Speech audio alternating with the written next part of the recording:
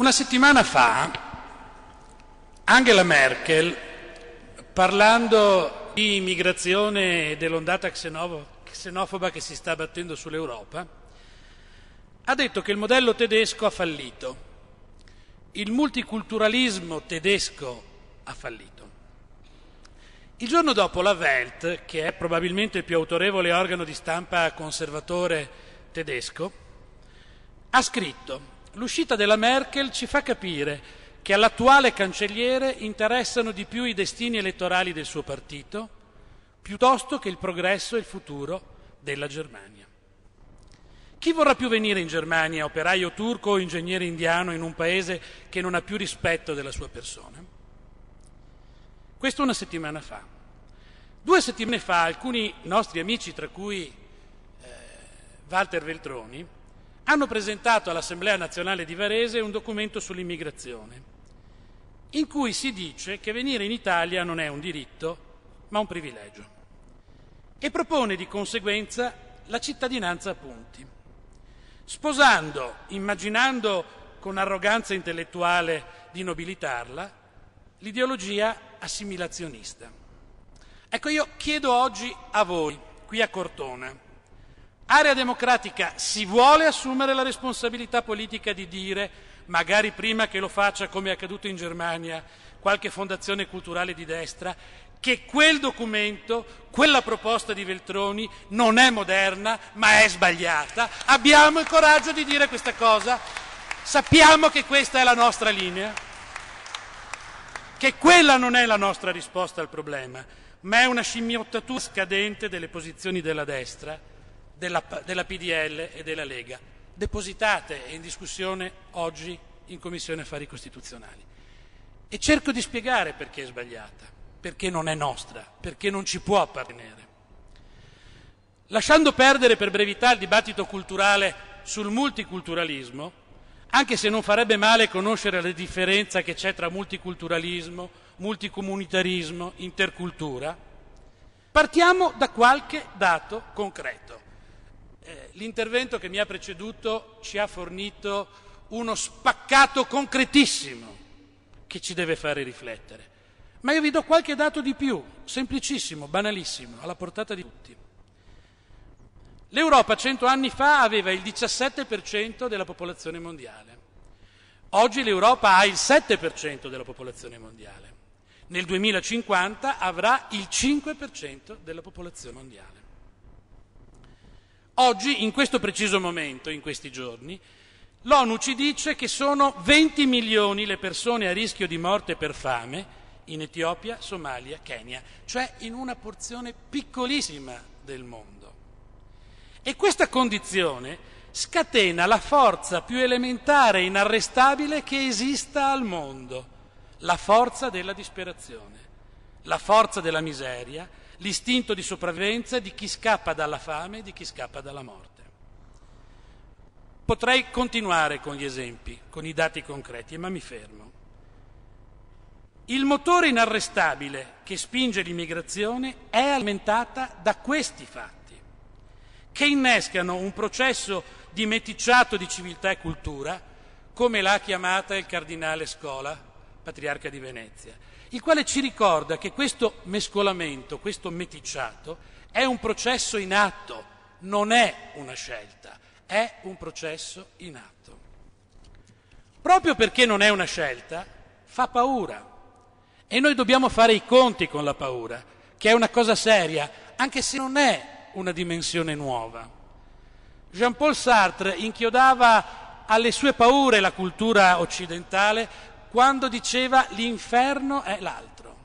C'è un bellissimo libro di Dominique Moisy che si chiama Geopolitica delle emozioni che ci fa capire che le frontiere emotive del mondo sono diventate importanti quanto le sue frontiere geografiche. Allora dobbiamo fare i conti con la paura, ma dobbiamo farli con la nostra cultura, con i nostri termini di interpretazione, con i nostri valori di interpretazione.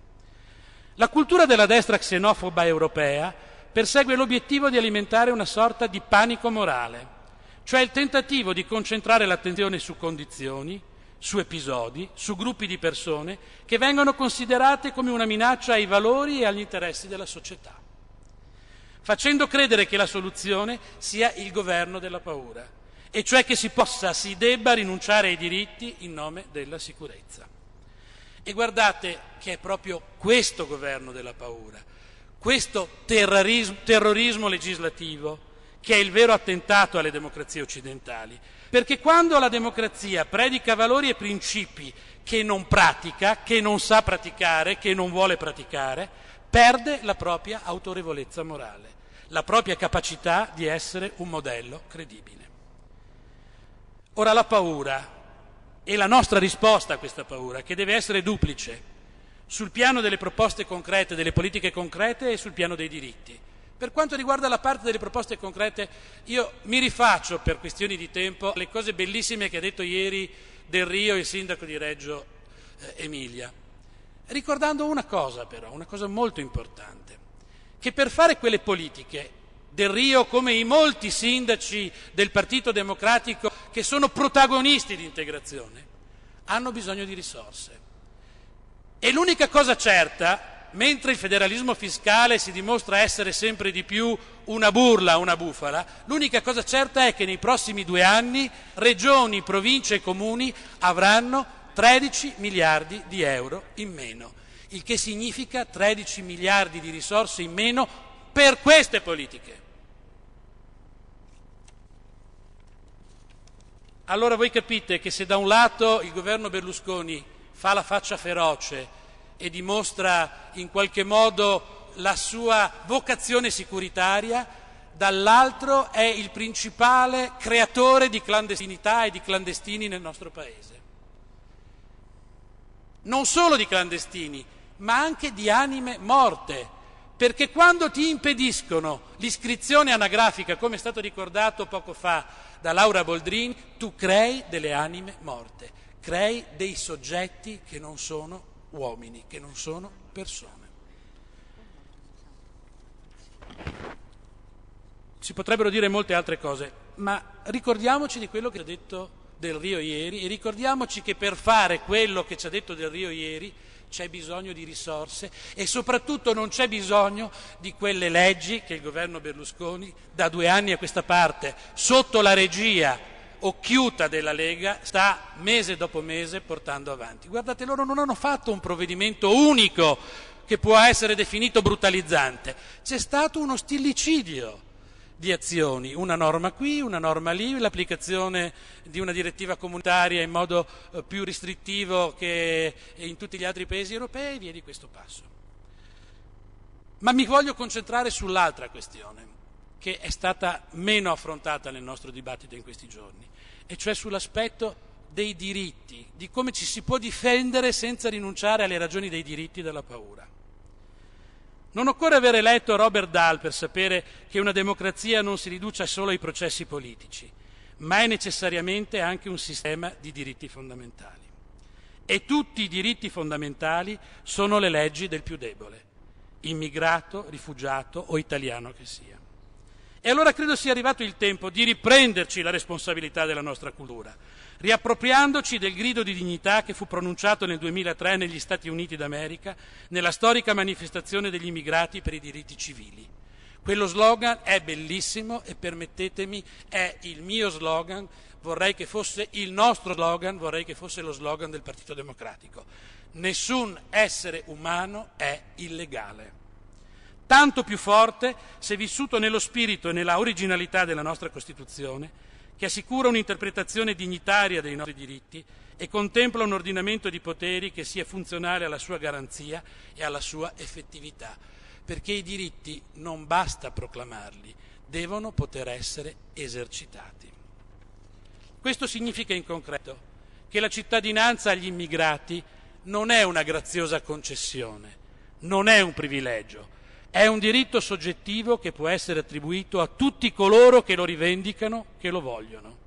La cittadinanza non come una corsa ad ostacoli, come un concorso a punti, ma come un'occasione di integrazione voluta e sostenuta, accompagnata dallo Stato. Questo richiede tempi più brevi e certi degli attuali, questo richiede pratiche trasparenti e semplici, questo richiede reciproca volontà di scommettere sul fatto che diventare italiano per uno straniero è un'opportunità per lui e per la comunità nazionale di cui diviene parte. Ma questo significa, prima di ogni altra cosa, che chi nasce, cresce e studia in Italia è un cittadino italiano e non è più un candidato alla clandestinità come oggi avviene per chi compie 18 anni, pur essendo a pieno titolo di fatto uno di noi. Se noi non riusciamo a proclamare questo diritto elementare, veniamo meno alla nostra funzione di partito democratico. Essere sensibili al rischio presente, ma indifferenti rispetto al destino futuro, non appartiene alla nostra storia. Aldo Moro ci ha lasciato la grande lezione che tra il realismo della preoccupazione e l'idealismo della forza dei diritti emergenti non c'è contraddizione. Sono le due facce di una stessa realtà, nella quale la ricchezza del nuovo e dell'umano che avanza non deve essere soffocata, ma composta.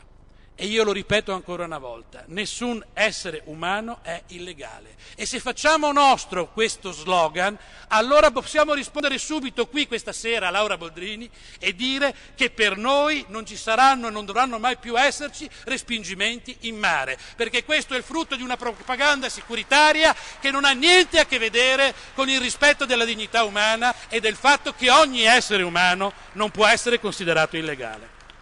Io questa lezione non l'ho dimenticata, non la voglio dimenticare, mi piacerebbe che fosse uno dei contributi di Area Democratica al Partito Democratico, per sfidarlo ad essere se stesso, sempre, anche quando non è facile esserlo.